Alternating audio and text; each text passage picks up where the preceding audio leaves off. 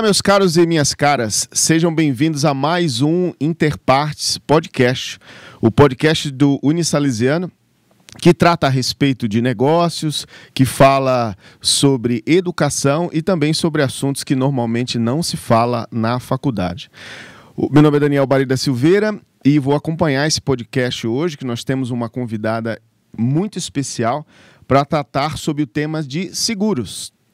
O tema do podcast hoje é como segurar a sua vida. E como convidada, temos aqui a ilustre presença de Paula Sanches. Ela tem 31 anos, é casada com Gui, é mãe de quatro pets, por enquanto, e é especialista em proteção financeira, atuando no mercado consultivo empresarial há mais de cinco anos. Paulo, obrigado por estar aqui, você ter Eu aceito o convite para a gente bater um papo sobre esse assunto tão interessante e, e, e talvez muito é, e talvez desconhecido por boa parte das pessoas que nos assistem, que é de falar de seguros, né? Sim. E, e eu já queria começar aqui o nosso bate-papo é, perguntando: o brasileiro ele gosta de seguro? Ele procura muito seguro? Fala um pouquinho sobre esse mercado de seguro para gente. Maravilha. Primeiramente, queria agradecer pelo convite. É um prazer, na verdade, é uma honra, né? Falar um pouquinho sobre esse assunto que eu sou apaixonada, eu sou suspeita. É, depois que você é picado pelo mosquito do seguro de vida, você não sai nunca mais, uhum. né? Então, depois que a gente paga benefício, a gente entende o propósito do, do produto em si. Né? Então é um prazer estar aqui e tirar um pouquinho da, das dúvidas que o pessoal normalmente tem. Né? Falando um é. pouquinho sobre o brasileiro. Até deixa eu. Desculpa, até. Vamos começar dar um passo atrás. Certo. O que é o seguro de vida? Vamos começar assim. Maravilha. Então, vamos explicar aí para o pessoal. O seguro de vida, pessoal, na verdade, ele é um contrato, nada mais é do que a seguradora com o cliente, né? Onde cada um ali tem a, a sua devida importância no, no, no acordo entre si. Então, a seguradora, ela promete honrar com o pagamento dos benefícios, desde que o cliente, ele é, se assegure de fato com todas as informações reais dele, né? Da uhum. necessidade de saúde dele. Então é um contrato, nada mais é, bem, você que é da parte jurídica, você sabe muito bem disso, entre duas partes, seguradora e cliente, tá? Mas o seguro de vida, é, na, eu brinco que ele é seguro em vida, né? Hum. Ele foi muito mal vendido pelo aqui no nosso país, no Brasil, por conta dos bancos. Então, atualmente, o brasileiro ele acha que o seguro de vida ele só, só, só cobre morte, né? É, pois é. E não é assim? Não, não é. não é. E é muito engraçado porque é, se a gente entrar lá na SUSEP, é, isso tem um registro, né? Que a grande maioria dos pagamentos de sinistros são feitos em vida. Hum. A SUSEP é o órgão que controla todos os seguros de vida no país, né? Os seguros em geral, perfeito. né? É a Superintendência de Seguros Privados no Brasil, isso mesmo. Perfeito, perfeito. E, e pago em vida? Pago em vida. Mas explica isso melhor, como é que é isso? Explico. é, infelizmente, meu primeiro sinistro pago foi um falecimento, né? Uhum. Mas o meu segundo benefício pago foi uma invalidez por acidente de um cliente uhum. que estava limpando a calha da casa. E aí caiu da escada, né? É, se desequilibrou, tropeçou, caiu fraturou o punho. Nessa, ele ficou um dia internado, foi uma cirurgia bem simples. Só que depois de oito meses de fisioterapia, ele perdeu o movimento desse punho. Então, ele é hum. empresário, ele toca um negócio, uma empresa, ele tem funcionários para ele, que trabalham para ele, mas ele acabou perdendo o movimento desse punho. Ele tinha um seguro comigo, e aí ele recebeu ali quase 150 mil pela perda desse movimento, desse membro. Né? Uhum. Então, esse é um tipo de, de seguro em vida. Entendi. Então quer dizer que o seguro de vida ele pode cobrir a morte, né? Então, na verdade, quem vão ser os, os beneficiários são os herdeiros. Perfeito. Né? E ele pode cobrir também outras situações que podem levar, por exemplo, a uma invalidez, ou eventualmente um acidente, ou até é, aquelas situações em que a pessoa ela fica é, fora do seu trabalho por algum período internada. Consegue cobrir também isso daí? Sim. Na verdade, hoje a gente tem desde uma, uma cobertura simples que chama fratura óssea. Uhum. Né? Então, se o, se o cliente ele cai e fratura um braço, por exemplo, ele recebe 25 mil reais. Poxa, tem gente que vai começar a tropeçar aí, né? para poder Perfeito. receber isso aí. Quando eu apresento o seguro para os meus clientes, eles falam: Nossa, então olha, meu dedão vale bastante, né? Pois é, pois é. O pessoal faz algumas brincadeirinhas que, por favor, né, gente? Não, não façam com a corretora de seguros, que a gente, a gente sofre do coração, viu? Para pagar benefício. E então a gente tem coberturas de fratura óssea, de diária por internação hospitalar. É, a gente assegura a renda do nosso cliente também. Então imagina um médico, né? Uhum. É, ele é a máquina de dinheiro da vida dele, literalmente, assim como você, que também é, É, advogado. Parou, Parou, não é, fatura. não fatura, né? É. E aí o seguro vem e, e- e nessas situações consegue fazer essa cobertura, né? Sim. Existe essa cobertura que ela é muito, muito bem vista no mercado, que é o DIT, que é a diária por incapacidade temporária, Uhum. que a grande maioria dos clientes que eu já abordei já tinham o DIT, mas não tinham outros produtos, como invalidez, doenças graves, diária por internação. Então, sempre o trabalho consultivo ele é a melhor forma para o cliente. Né? Quando você tem um corretor especialista no assunto que trabalha com todas as bandeiras do mercado, a gente desenha um seguro que faça sentido tanto para o bolso dele, né, quanto pelas coberturas que a gente oferece. Muito bem.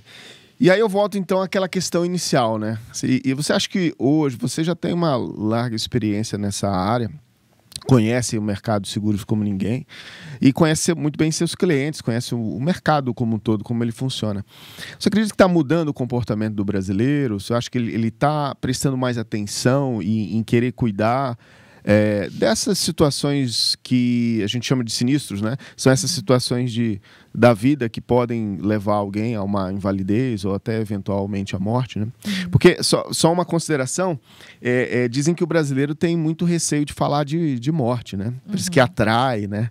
Porque a gente vê, por exemplo, no caso da área do direito, né? Quando a gente começa a falar assim, olha, vamos fazer o seu planejamento patrimonial, para caso você venha a falecer, você já diz, não, Deus me livre, não quero nem saber disso, né? O problema é que ele vai falecer mais cedo ou mais tarde e o problema vai ficar aí pros pros filhos, né, para os herdeiros para poder resolver. E a gente tem situações, por exemplo, de ver que os herdeiros às vezes têm que vender o patrimônio que os pais constituíram durante a vida inteira porque ele não consegue pagar os custos do inventário de uma sucessão, né? É, você acha que vem mudando isso? Assim, qual que é o seu sentimento em relação a esse comportamento do cliente em relação a seguros? Eu sinto que pós-pandemia, né, a pandemia veio aí para provar por A mais B que a gente vive num mundo imprevisível o tempo todo. Então, o que mais existe na, na nossa vida é a imprevisibilidade. A gente não sabe do amanhã, né? Então, eu acho que a pandemia ela veio aí para aumentar essa, esse nível de consciência, sim, mas ainda é um tabu, né? É muito difícil falar sobre seguro de vida. Normalmente, quando eu falo a palavra seguro de vida, meu cliente ele foge, ele não me atende. Ele não quer me ouvir, ele não quer participar da reunião. E sim, quando eu ainda converso com alguns clientes, alguns prospects, né, que a gente chama, algumas indicações, recomendações, porque eu só trabalho por referência, né, por recomendação. É, normalmente as pessoas me falam, ah, Paulo, eu não gosto de falar muito sobre esse tema, porque atrai coisa ruim e tudo mais. Daí eu falo, olha, eu vou ter que discordar, né? Porque se seguro de vida atrai coisa ruim, então o cinto de segurança no carro faz sentido para quê? É, claro, né? Sim, sem dúvida. né? É, todo mundo que trabalha com uma precaução, sempre, né? A gente está no outubro rosa, né? Por exemplo. Então, outubro rosa, ele quer dizer é, um diagnóstico precoce de um câncer de mama pode salvar a vida de uma mulher, Uhum. né? Onde que o seguro ele entra nesse sentido? A gente tem pagamento de benefício de doenças graves, mesmo num câncer de um estágio leve. Então, é, é, o cliente ele pode ter uma liquidez no bolso para procurar um tratamento particular no Albert Einstein, por exemplo, se o plano de saúde dele não cobrir. Então o seguro cobre é, doenças também. Não precisa ser uma situação de incapacidade. Pode ser uma, Um uma doença, um diagnóstico. É isso. Cobre. Ah, e o- o- o- conta mais, assim, sobre o que? O pessoal está assistindo, às vezes está começando a entender agora desse mercado, já sabe que é o seguro de vida, quando a pessoa vem a falecer, o seguro acidente. Uhum. Como é que seria esse seguro? Que, que, que doenças que cobre? Se você conseguiria dar um, um- geral para a gente entender melhor? Hoje em dia, nós temos coberturas de todo tipo de doença grave no mercado. É claro que as principais que nós mais pagamos benefícios sinistros, né, que a gente chama, é, que a gente abre sinistros, são câncer, infarto, AVC, né? Mas a gente tem doenças que cobrem Parkinson, Alzheimer, esclerose múltipla, paralisia de membros, diagnóstico de cegueira, surdez, É, procedimentos cirúrgicos, então às vezes o cliente não teve um diagnóstico de uma doença, mas precisou colocar um bypass no coração, ele cobre também. Né, uma cirurgia de aorta, ele cobre também. E são situações que você, hoje em dia, graças a Deus, a medicina está muito avançada. Quantas pessoas você conhece que já teve um diagnóstico de câncer, fez o tratamento e ainda viveu mais 10, 15 anos, não veio a falecer, ainda está vivo? Né? É. E muitas vezes é uma situação que esgota a pessoa financeiramente, né? Porque o tratamento ele é um tratamento muitas das vezes caro, né? E que às vezes a rede pública não fornece, ou se fornece, fornece de um determinado de determinada forma. E às vezes o seguro vem para isso também, né? Pra, até porque muitas das vezes ele precisa sair do, do seu trabalho, do mercado de trabalho e, e, e se submeter a um tratamento, né? Perfeito. E eu sempre falo assim, Daniel, para a importância dos meus clientes, né? Eu falo, olha, se você tiver um diagnóstico de câncer, você não vai conseguir trabalhar, Sim. né? Você não vai ter força, você não vai ter emocional. E você acha que você vai afetar só você? Ou todo mundo ao seu redor? Você acha que a sua esposa vai conseguir trabalhar? Ou ela vai te acompanhar no seu tratamento? Você acha que os seus pais, se eles já tiverem aposentado, eles não vão tirar do próprio bolso para poder custear um tratamento particular? Ou se o seu pai ele adquiriu muito patrimônio para te deixar uma tranquilidade, né? A gente sabe que hoje em dia o brasileiro ele investe muito em patrimônio, é um excelente tipo de investimento, mas nada como a liquidez imediata. É. O que resolve o problema é dinheiro. A gente sabe disso. Então, o seguro, por isso que a gente chama o seguro de uma blindagem patrimonial. Por que, que o seguro é uma blindagem patrimonial? Porque ele blinda tudo que você conquistou. Uhum. Então, a gente traz essa liquidez para que você não tenha que vender um patrimônio. Ou para que você não tenha que liquidar a sua previdência privada, que é para o teu futuro, que é para o futuro dos teus filhos. Né? Sim. É, e para quem ainda não conquistou nada, o seguro vai ser a sua saída se acontecer alguma coisa. Pois é, vai ser uma, uma forma de. Então a gente poderia dizer assim, porque, veja bem, o. Pelo menos eu estou fazendo uma, uma leitura, né? Na, na, na mentalidade da pessoa que nunca viu, nunca lidou com seguro, talvez o mais que ele conhece ali mais próximo é o seguro de carro. Perfeito. Então, seguro de carro, se tiver um sinistro no carro, se tiver um acidente, ou se o carro for roubado, se alagar, etc., pegar fogo, o seguro vem e paga o veículo, paga o conserto. Né? É, a ideia do seguro de vida é mais ou menos isso. Perfeito. Então, acontecendo algum tipo de sinistro, o seguro vem e paga, seja uma doença, seja uma incapacidade, ou mesmo até no caso do falecimento, os herdeiros aí vão receber esse valor, né? Perfeito. E é interessante, assim, porque eles pegam o mercado americano, lá é tudo é securitizado, né? Tudo. Então, assim, você vai alugar um carro, eles já tem seguro. Você vai comprar um carro, ele já tem o seguro, né? Então, assim, já vem o seguro embutido. E os valores são normalmente até mais... É, é, dependendo, assim, de pagamento, né? Sim, Inclusive, né? sim. É, é, é, o que eu ia perguntar, na verdade, é assim, é, muita gente se confunde com essas terminologias, né? De prêmio, é, resgate. Você conseguiria dar uma, uma, uma esclarecida para o público aí? Sim. É, prêmio, na verdade, é o valor que você paga por mês para a seguradora. Então, é o valor ali da sua parcela, Sim. tá? Para nós, corretores de seguro, é o prêmio médio. Quanto prêmio médio você faz no mês? Quantos clientes novos Sim. você traz de prêmio médio, né? Ativo. Capital segurado é a cobertura, o valor da cobertura que você tem. Então, ah, eu tenho meio milhão de doenças graves, eu tenho um milhão de invalidez, eu tenho mil reais por dia de diária por internação, tenho 100 mil de fratura óssea. Então, é capital segurado. Ou seja, é a quantidade de proteção que você tem. Então, vamos relacionar com o carro, né? Sim. Então, eu tenho um carro lá de 130 mil, é o valor do meu bem. Uhum. Então, hoje eu pago no meu seguro do carro 4.300 reais no ano por um bem de 130 mil. Quanto que vale a Paola? Sim, é. Quanto vale o Daniel? né? Pois é. Se a gente for fazer um cálculo pensando até os nossos 65, 70 anos, isso que a estimativa de vida do brasileiro é muito maior. Sim. A gente vale muito mais do que um, um bem. Né? Então, se a gente. Até eu brinco com os meus clientes, eu faço uma regra de três, né? Eu falo, ó, você paga isso, X pelo teu seguro do carro, vamos ver quanto sairia seu seguro de vida? Então, já que você vale 30 milhões? E E, é, e normalmente é um valor mais barato, né, do que um seguro de carro. muito mais. Porque a probabilidade de dar um peripaque no sujeito É menor. é menor, né? Exato. E você falou sobre o resgate, né? Hoje existem produtos no mercado é, de seguradoras norte-americanas, né? Mas também brasileiras, onde dá esse benefício para o cliente. Então, o capital de morte, ele é vitalício, tá? Então ele é um seguro que normalmente ou a gente chama ele de vida total, ou whole life, ou é, enfim, né, é, vitalício e resgatável. Uhum. Eu particularmente não gosto muito desse termo resgatável, acho que a gente já comentou sobre isso, Uhum. né? É, porque na verdade ele é uma provisão matemática de benefícios a conceder. Então, o que o cliente ele está colocando ali naquele capital de morte, ele já foi calculado pelo aquele X anos que ele vai pagar.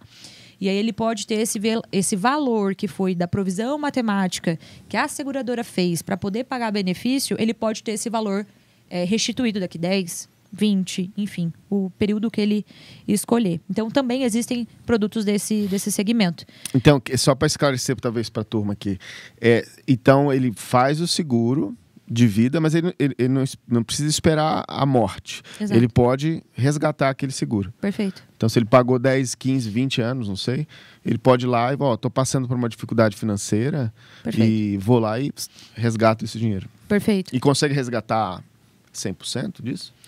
É, então, 100% do valor do prêmio pago, não.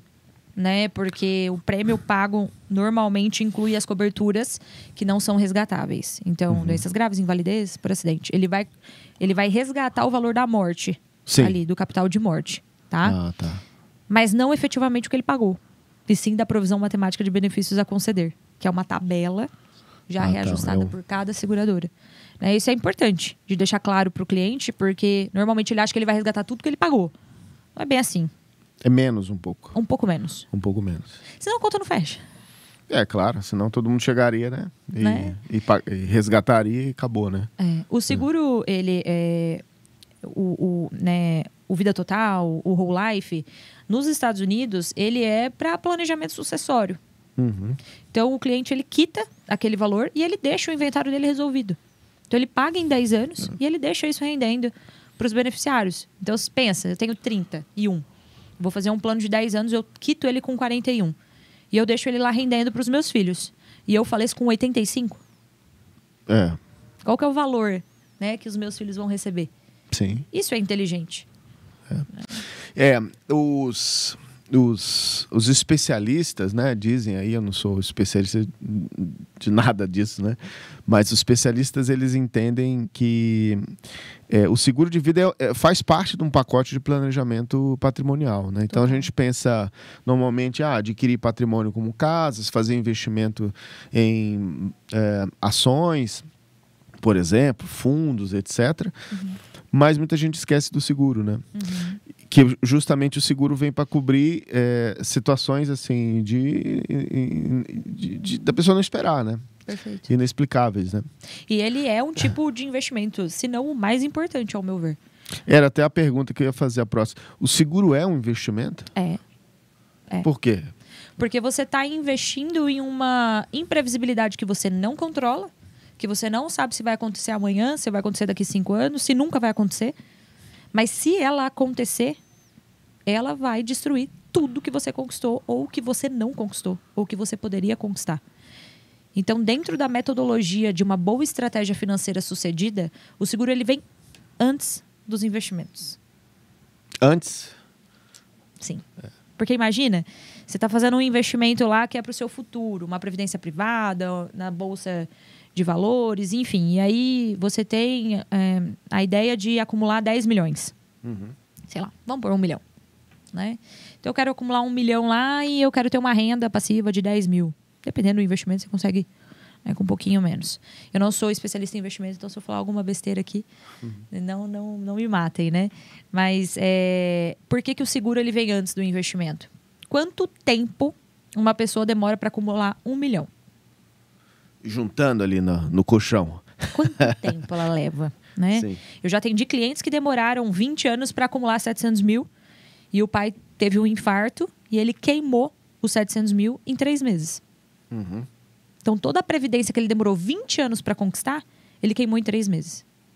Se o pai tivesse um seguro, É, essa situação não, não existiria, né? não existiria. Então, é- o seguro, ele é o investimento mais importante dentro do planejamento financeiro. Não só o seguro de vida, tá? Mas o plano de saúde, que infelizmente no nosso país é um mal necessário, Uhum. sim. A gente precisa ter um plano de saúde. Uma diária por UTI aqui na Unimed, não sei se vocês sabem, mas é 14 mil só o leito. 14 mil? Sim. Na, aqui em Aracatuba, tá? Sim. Sim, Imagina é. se você precisar. No Albert Einstein, sei lá. Exato. Então, o plano de saúde é sim também um produto extremamente importante no gerenciamento de risco, né, dentro do planejamento financeiro e a reserva de emergência. Então, não é só o seguro de vida que faz ter um bom planejamento de risco. Ele vem num pacote, né? Exato. Num pacote mais inteligente aí, né? De, de, de, de planejamento financeiro, né? Planejamento patrimonial, né? Perfeito. E quando eu pego o cliente, normalmente ele só tem o, o investimento. Raras exceções quando tem um, um plano de saúde. Um plano de saúde, né?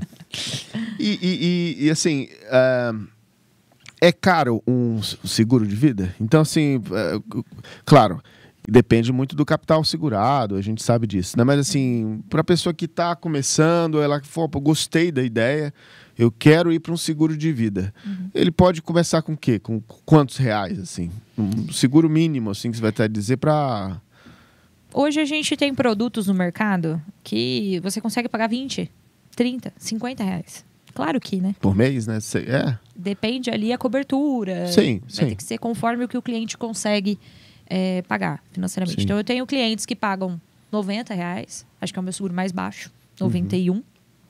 Até clientes que pagam 10 mil, 20 mil. É, depende muito do, a gente tem em caso dos jogadores de futebol, esportistas, Perfeito. né?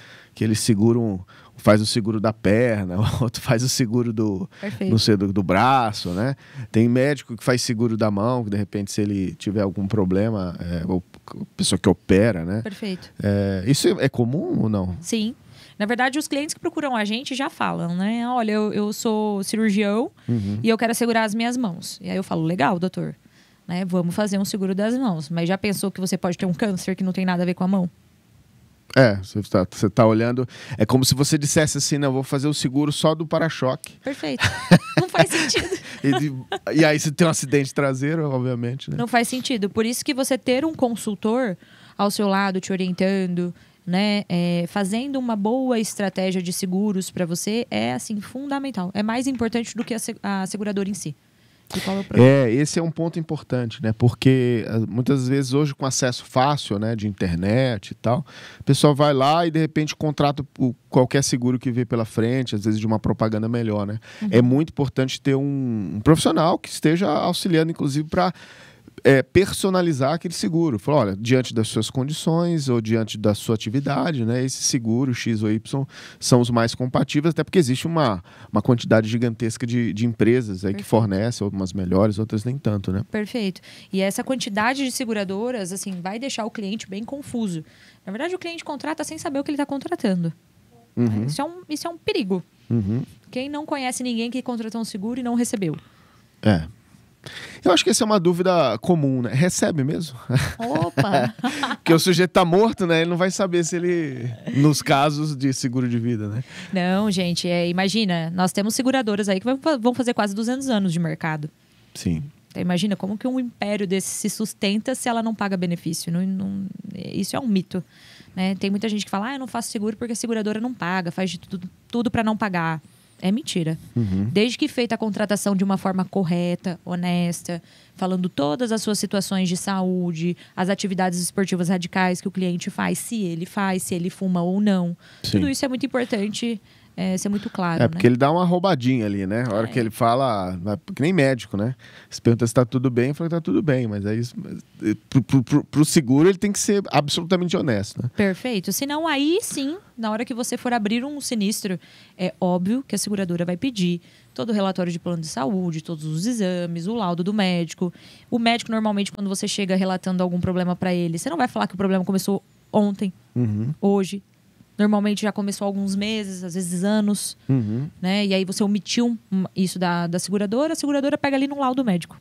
Em coisas simples. Coisa simples, né? né? Que não foi, foi falado. Não sim, é de ciência sim. da seguradora. Aí ela vai negar benefício mesmo. Mas até hoje, confesso para você, olha, dentro das seguradoras que eu trabalho, raras exceções. Acho que eu nunca ouvi um consultor falando que foi negado o benefício. Uhum, uhum. Pois é. E é, nessa, na sua atividade de consultora, né, qual que você acha que é a dificuldade maior que você tem é, em relação ao cliente? É convencer o cliente? É talvez ter assim um, um, um, dar o fit, né? Ou seja, dar o, o perfil ideal. O que, que, você, que, que, que você sente? Quais são as maiores dificuldades da profissão de consultor na área de seguro? Sentar na frente do cliente. Na verdade, fazer o cliente nos atender. É o mais difícil. Que ele foge? Foge. ele fala que. Eu, eu, será que acho que é o estigma de seguro, de, de vida, essa coisa? Ou, Pode ser. ou é a cultura de não fazer seguro? Na verdade, eu acho que é um, uma combinação. Né? A nossa vida é muito corrida. Uhum. E aí a gente vai deixando para depois, vai deixando para depois. Nessa do depois acontece algum acidente que você poderia ter estado assegurado, né? Uhum. Então acho que a nossa vida já é muito corrida, né? Nosso perfil de cliente é muito corrido. Uhum. Então, advogado, médico, empresários, enfim. E deixa para depois, né? Porque não, não, não, tem essa urgência, vamos dizer assim, na cabeça dele. É. Mas é para planejar, a gente tem que planejar, né? Uma Perfeito. hora tem que começar, começar né? E tem gente que fala assim para mim, Paula, é, não é minha prioridade agora no momento, porque minha prioridade agora é comprar minha casa, minha prioridade agora é ter meu filho, a minha prioridade agora, daí eu falo, Uhum. ok, mas a sua prioridade deveria ser você e o seguro. Porque se Sim. você não tiver bem, se você não tiver saúde, nada, nada do restante vai funcionar. E quanto mais velha a pessoa é, Mais mais, caro. mais cara fica, né? E mais difícil de contratar. Porque a seguradora pode negar. Exato. E porque normalmente uma pessoa mais velha, ela já teve várias situações de É, saúde. ca- carro velho é difícil dar seguro, seguro, né? É, e eu tive. É, é, eu tive uma apendicite com 23 anos, que eu fiquei quase 28 dias internada, e eu tive duas complicações. Eu quase morri. Então, você olha pra mim com 31 anos, E você tinha seguro? não tinha na época. Poxa, Ah, é, pois é. Deixei uma bolada aí na mesa. Pois é, pois é. É, aquela velha história, né? A gente aprende no amor ou aprende na dor, né? Uhum. É, às vezes o, o amor significa de que você tem que é, conhecer esse produto, conhecer os benefícios dele, né? E entender que faz parte. Você tem que ter um seguro Perfeito. de vida. né? Uhum. Porque às vezes na dor, quando alguém passa por um infarto, por exemplo, ele diz: opa, peraí, eu acho que eu tenho que me organizar, me planejar para Uhum. poder fazer um seguro, além de sair mais caro, é, pode ser que ele não consiga mais segurar e ele expõe a família, né? É, exato. E eu sempre falo pro meu cliente, você tem duas soluções, né? Duas opções. Ou você contrata na conscientização, que é o que eu tô fazendo aqui com você hoje, ou na dor, e aí eu posso não te aprovar, ou você vai passar por uma situação com alguém muito próximo, ou na sua família, ou com algum amigo, e aí de fato você vai me ligar e vai contratar mais pra frente. Uhum. E normalmente são essas três opções. Pois é. Muito bem. É, acho que para ser um bom, acredito, né, que para ser um bom é, vendedor, para ser um, um bom consultor é preciso ser um bom vendedor, né? Perfeito. Você teria alguma dica de para essa turma, tem uma turminha aqui que está assistindo a gente, né? Aqui a gente tem estudante, a gente tem profissionais, a gente tem é, certamente muitas pessoas que gostam de você que vão estar assistindo também. Se tiver alguma dica de uma leitura, pode ser um vídeo, um filme, né? Algo que você goste, que se fosse, olha, esse aqui me parece que é uma boa indicação para a turma que quer começar. Pode ser sobre seguros, pode ser sobre vendas, né? O que você quiser. Fala para essa, pra essa câmera aqui, ó. Pessoal, vamos lá. É nessa ou nessa? Essa aqui, pode Nessa. ser essa aqui, isso. isso. É, eu acho que todo mundo tem que ser um excelente vendedor, é, porque você tem que se vender o tempo todo, independente da profissão que você escolher. Então, se você for um educador físico, você tem que se vender, né? Porque a pessoa tem que comprar você. Depois ela compra o seu produto. Primeiro ela compra você. Então, você tem que ser um excelente vendedor em qualquer situação, tá? Então, se você não é bom comercial, mi- o meu conselho é seja um bom comercial, faça cursos, né? Procure conversar com pessoas que têm facilidade nessa área comercial. É, acho que minha bíblia de vendas é o Spin Selling. Eu amo. Não sei se você, você já leu. Mas eu amo, indico muito para todo mundo. É um livro super fácil. E ele fala sobre grandes negociações, né? Sobre o processo de uma grande negociação que é diferente de uma venda pequena, tá? Normalmente, quando você tem um cliente recorrente, você precisa enxergar isso como uma venda é, maior. Por quê? Porque é uma venda recorrente, é um cliente que você tem que manter ele um bom tempo com você na tua carteira, né? Então, o Spin Selling é, de longe, acho que o livro que eu mais amo. Acho que eu já estou lendo ele pela terceira vez. Mindset também, ele é muito bom. Ele vai falar é, sobre comportamento. E o nosso comportamento é tudo, né? Principalmente na frente de um cliente.